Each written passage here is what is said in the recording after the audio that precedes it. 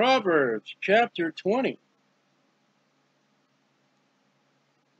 Okay. Proverbs chapter 20. Wine is a mocker. Well, we've been talking about mockery. We've been talking about people that scorn. Here is a beverage as a mocker. Why? Because you act like an idiot. Strong drink, there's alcohol. Can't find alcohol in the Bible. There it is. Strong drink is raging. You get foolish, anger, stupid. And whosoever, that's interesting. Whosoever, for God so loved the world, he gave, he, for God so loved the world, he gave his only begotten Son, that whosoever, that's addressing everybody. Whosoever, addressing anybody and everybody, saved or lost, is deceived. You're deceived by alcohol. Thereby is not wise. Oh, I'm a Christian. I have moderate wine. A, you're not wise. Island was the only state to reject the 18th Amendment. Beer is made by the fermentation caused by the bacteria in feeding on yeast cells and then pooping. I added the pooping. Beer is made by yeast pooping. In, school, in Cold Spring, Pennsylvania, there was a time that a married man could not buy liquor without a written consent from his wife because the family would suffer.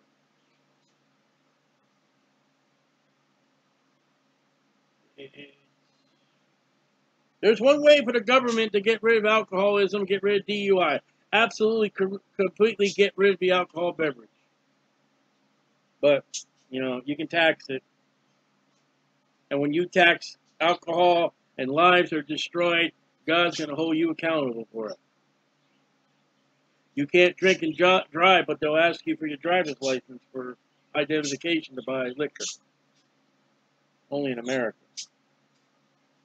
It is an honor for a man to cease from strife. Stop fighting. Get it over with. Make peace. But every fool will be meddling.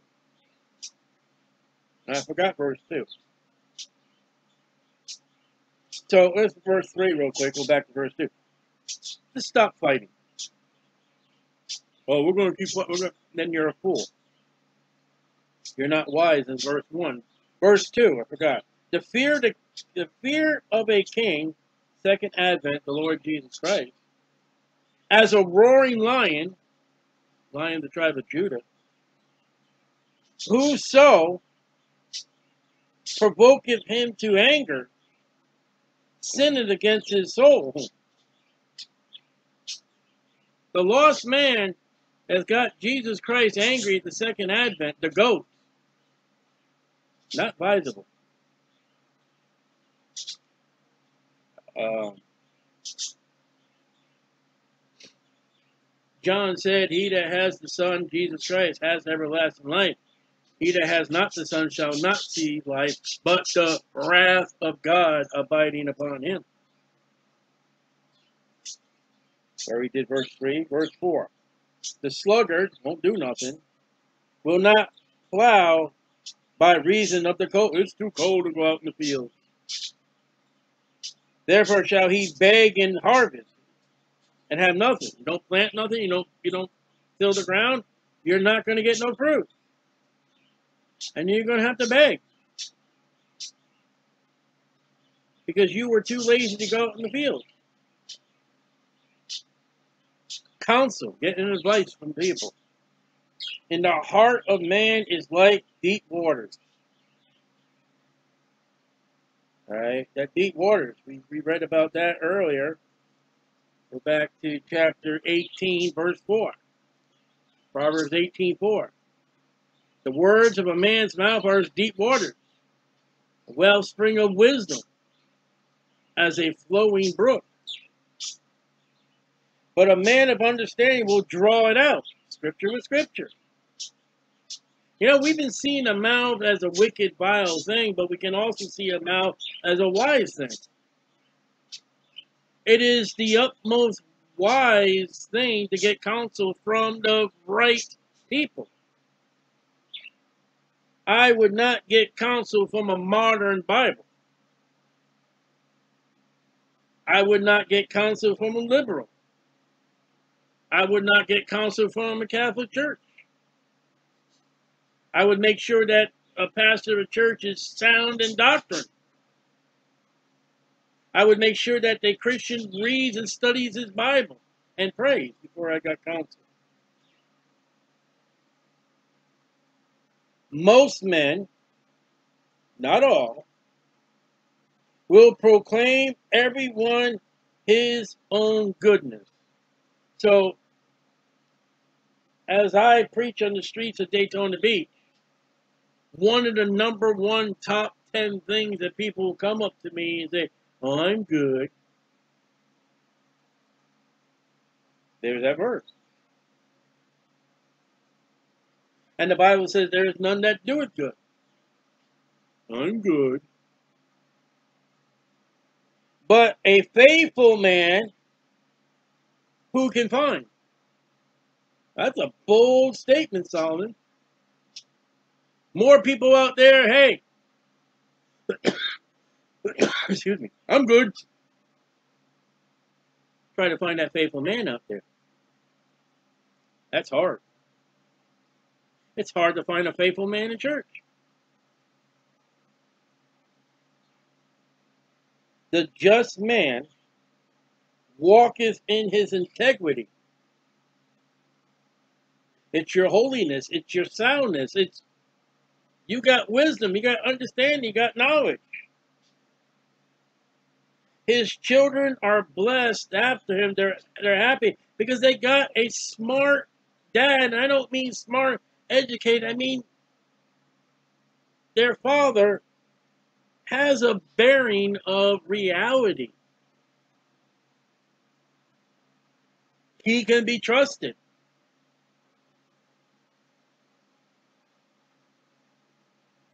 A king that sitteth in the throne of judgment scatters away evil with his eyes. That, that's second advent.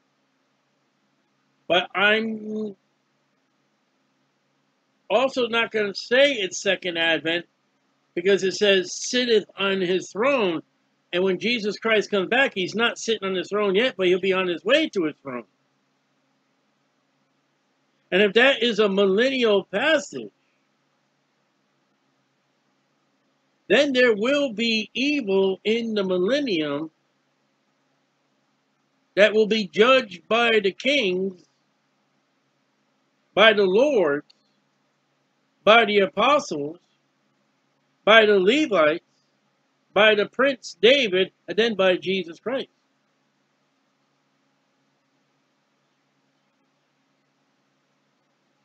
Moses set up a, a judicial system in the children of Israel. Cap, uh, uh, judges of hundreds and fifties. And there was no, if there was a cause that was higher than, I mean, you cannot get the proper judgment. And while Moses was living, you were to go to Moses, and when Moses died, you were to go to the Levites, and they would go to God. That's what's going to happen in the millennium. You're going to have Christians who are kings, uh, Revelation chapter 1. They're going to have cities of reign. And if there is conflict in your city as king, it'll be brought to your attention because the Bible say kings are to be judges, not presidents.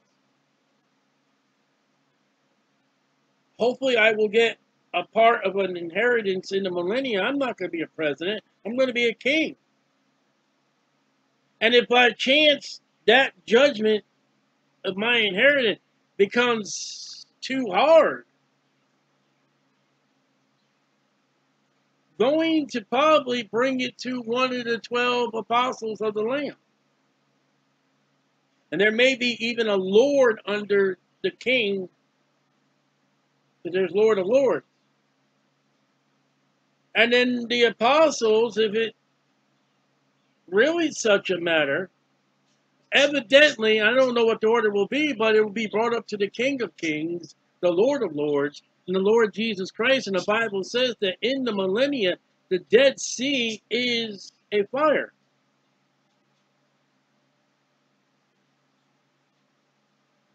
But that second advent of Jesus Christ, the Bible says, Revelation 19, his flame of fire coming out of his eyes. That's not that lamb no more. Who can say, I have made my heart clean? I am pure from my sin. Your typical average Christian today in church, that's me. And I say to that typical average Christian, you don't read your Bible.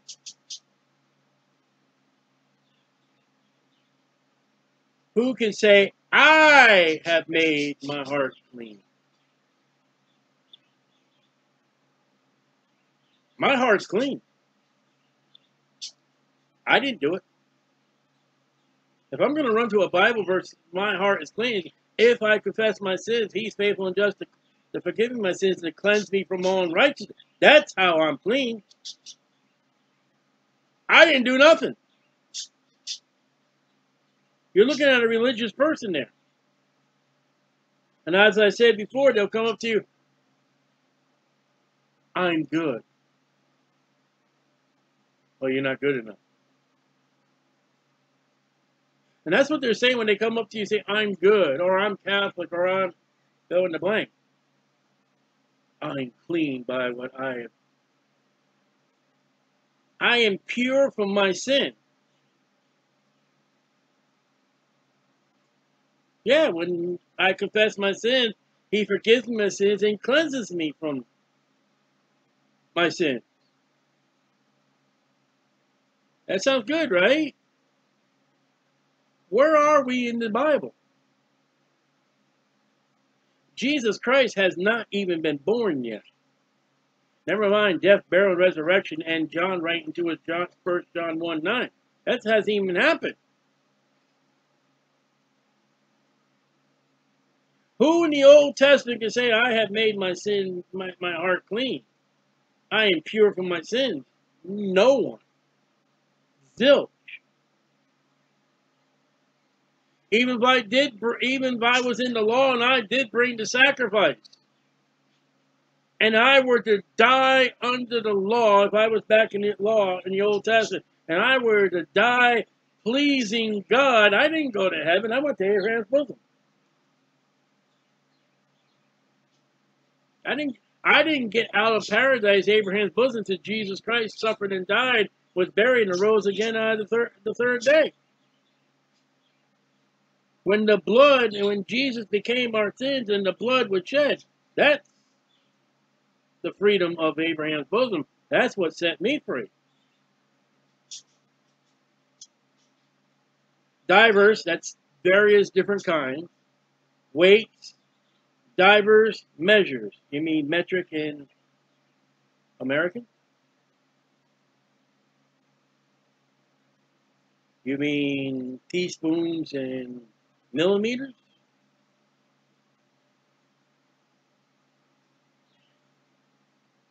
We're a Christian nation. And yet we got to have a standard socket set and we got to have a metric socket set.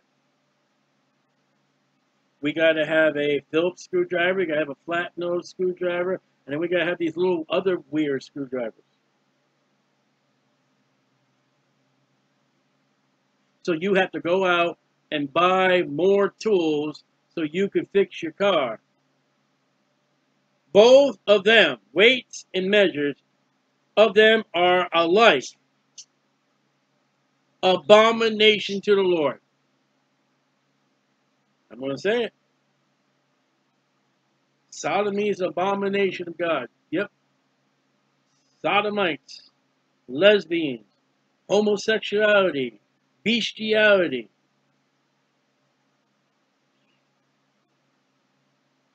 So when you deceive somebody that when they get three gallons of gasoline, they got two point ninety nine nine nine nine nine.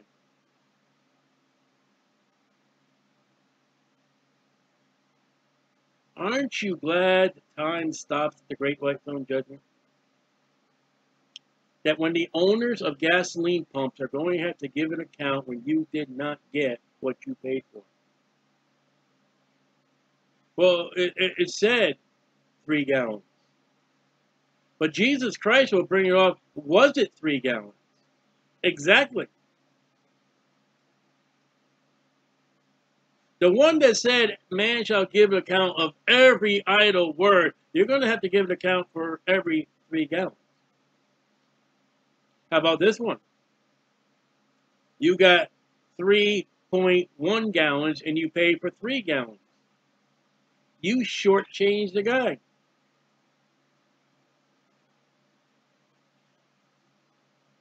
That's almost like a thing which is obsolete today, growing up as a child. And we know today. We went, the favorite thing we used to do, go up to a payphone, put our finger in the coin slot, and oh, we got a dime. And we were rich when we hit a quarter. And we used to say, finders, keepers, lose your weepers. You know what the law said? The same law that says, man shall not pertain where what pertains to a woman, a woman shall not pertain what man where a man wear. That's not in the New Testament. You know what the law says? Thou shalt not print any marks upon your body for the dead. That's not in the New Testament. All right, so we want to say that women can't wear pants and we can't have any tat, which you're wrong. Okay? But the law also said if you found something, you were supposed to hold it or go try to find the owner thereof. To say finders, keepers, lose your weepers was actually a sin.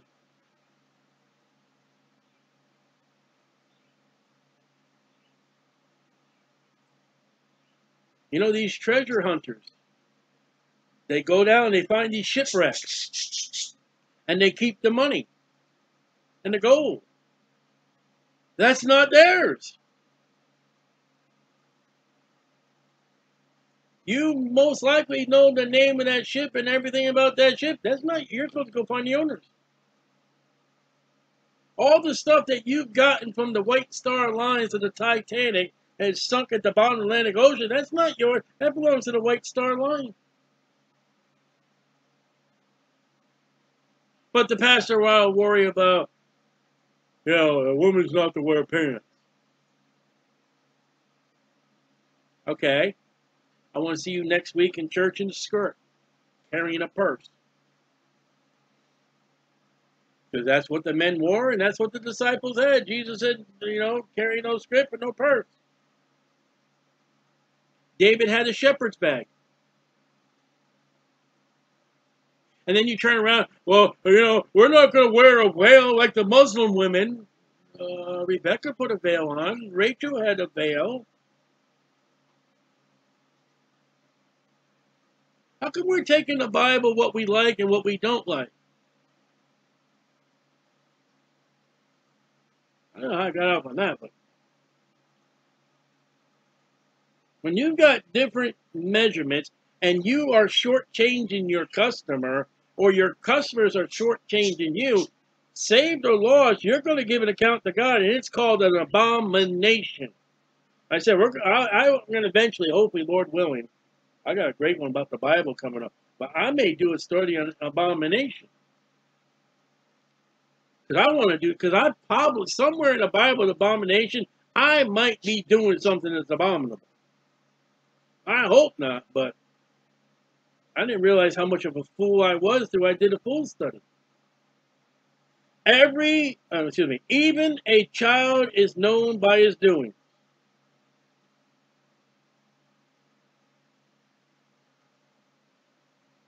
Kid's over there sucking his thumb. He's a child. He did a poopy in his diaper. He's a child. Look he's sleeping in church. He's a child. Whether his work be pure. Pure. A child can be pure. And whether it be right. Pure is higher than right. Pure will equal right. So then you look at a child. Oh, that's a good boy. Look, he, he, he knows his Bible verse. He brought his Bible to church. Yes, sir. No, ma'am. I mean, polite, respectable. So let's. What about an adult?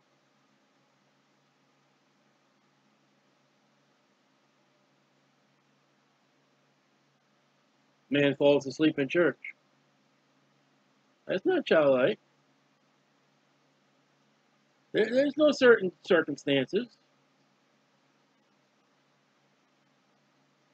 When I work, used to work third shift on Sunday mornings, I get home six and seven o'clock in the morning. I take a power nap and I go to church, and sometimes I would fall asleep during church. And then there's elderly people, okay, you know, they get tired and with it. I mean, you look at them, but what about your average adult? I don't read the Bible. Why not? I don't pray. Why not? That child over there is behaving himself. Yeah, you are not. And you are an adult. The hearing ear and the seeing eye. Nothing about the talking mouth. The Lord has made even both of them. You mean it didn't evolve? You mean when I was that one single amoeba in the oogie boogie bagoopy blop, and I said to myself, I was the only one, I think I'm going to be a two cell. And then I became a three cell. And then whatever that doing, doing, doing, doing, doing, doing, doing. And I said, you know what? I'm sick and tired of being in the water. I'm going to step out on that beach and I'm going to start walking.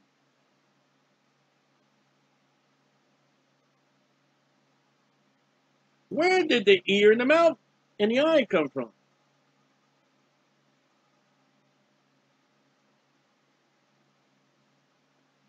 What's evolution got to say about that? All living has eyes and ear. A tree is living, they don't have an eye or ear. There's these little mole rats. They're blind as anything. There are animals that are blind and have other features that gets them around. There are animals that are, are deaf. And there are animals that have keen eyesight and a keen ear, sight.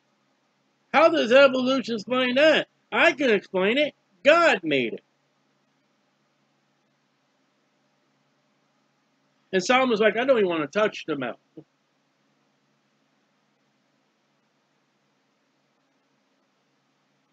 Because we can look in bad counsel to the mouth. But God made that too. Love not sleep. Chapter 19, verse 15. Slothful casteth into a deep sleep, and idle soul shall suffer slumber. Slum, ah, hunger. I said snooze alarm. I'm guilty. Snooze. 15 minutes more. Bible says no. Open thy eyes, and thou shalt be satisfied with bread. Go to work. That matches with verse 4, the sluggard who won't do nothing. It is not. It is not. It is nothing. Verily, look at that. Verily, verily. Verily, verily, saying to you, it is not. It is not. It is nothing. It is nothing. Saith the buyer. First time buyer shows up in the Bible. It's nothing. Have you ever been at a flea market or anything like that? You see. That's absolutely nothing. You kidding? You, you want you want to sell me that for that? Man, it's broken. There's 50 of them. Guy over there at the table has three of them.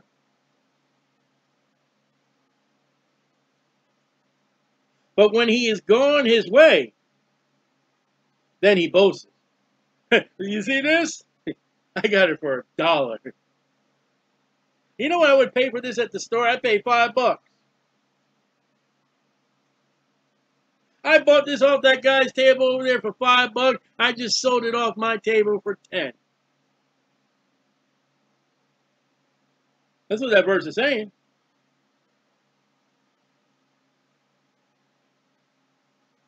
There is a there is gold and a multitude of rubies. And we know that the virtual woman, her price is above those rubies. But the lips, uh-oh. Here we go.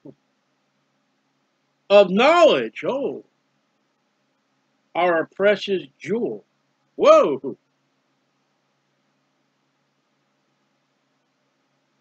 Now, scripture is scripture.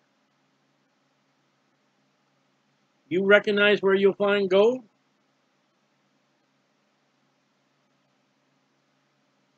Will you recognize where you will find precious stones?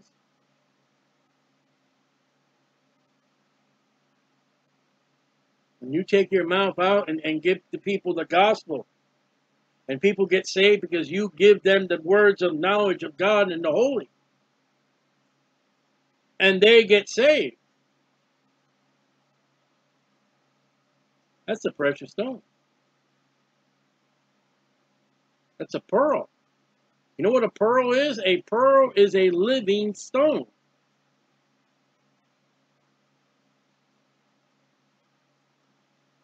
When you have planted or watered and God gave the increase,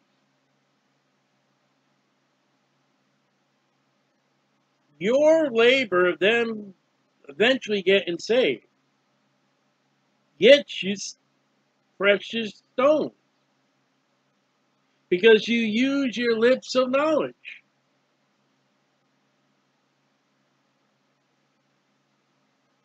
It doesn't say anything about movies.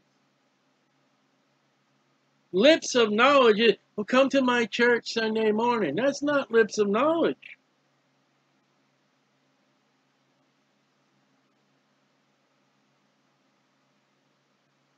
That's a lazy preacher that wants to get the benefits of your labor.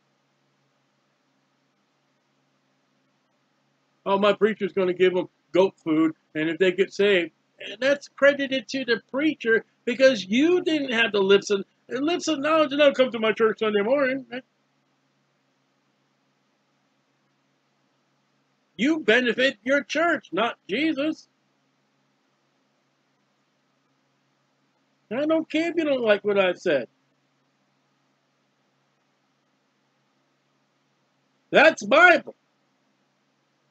And if you don't like it, get mad at God in the Bible, not me, and you're going to throw your weight around with me. I, I, I told today, I, I will start putting your name, the date, and quotes. And I, as Peter, as Paul, as Jude, as Moses, and as Jesus. I'm going to start naming names and say and tell the people what you did and what you said. That's biblical. And I will quote it. Or I will say something to the benefit that they said. And, I, and I'm going to put the date, and if I can, I'm going to put the time down. And he, I'm going to say, why don't you read your Bible for her? Because it's in the Bible.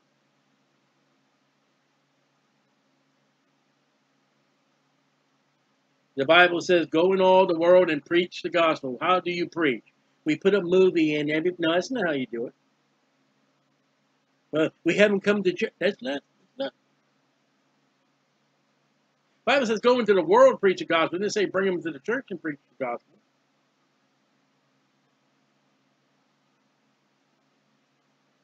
Check that amongst the Greek. I'm getting I'm getting very the Lord showed me a lot of knowledge and wisdom with the studies I'm doing lately. Go in all the world and preach the gospel. How do you preach the gospel? With the lips. Look at let's go to Romans chapter 10. We'll close. I'll show you what I'm talking about, what the Bible says, and you don't like it, then you tell God you got a problem. Oh, I don't like styling. That's okay. And Jesus will tell you one day why he persecuted out me. No, Stolly said it. No, Stolly said what my word said. Uh, verse number 13. Romans 10, 13. For whosoever, wow, look at that. I wasn't going to do Romans 10 today, but look at that. Shall call upon the name of the Lord shall be saved. How then shall they call on him whom they have not believed? How shall they believe in him whom they have not heard? Getting to see Proverbs? And how shall they hear without a preacher? Uh-huh, see, bring them to church. Go in all the world and preach the gospel. If you go in the gospel, if you go in the world and preach the gospel, guess what you are? You're a preacher. And that didn't cost you nothing. How shall they preach except they be sent? How are they sent? Go in all the world and preach the gospel. Do. And as it's written, how beautiful are the feet of them which preach the gospel of peace. How can you get your feet if you tell them to come to church or come listen to this movie? What are your feet doing? They're not walking, carrying the gospel.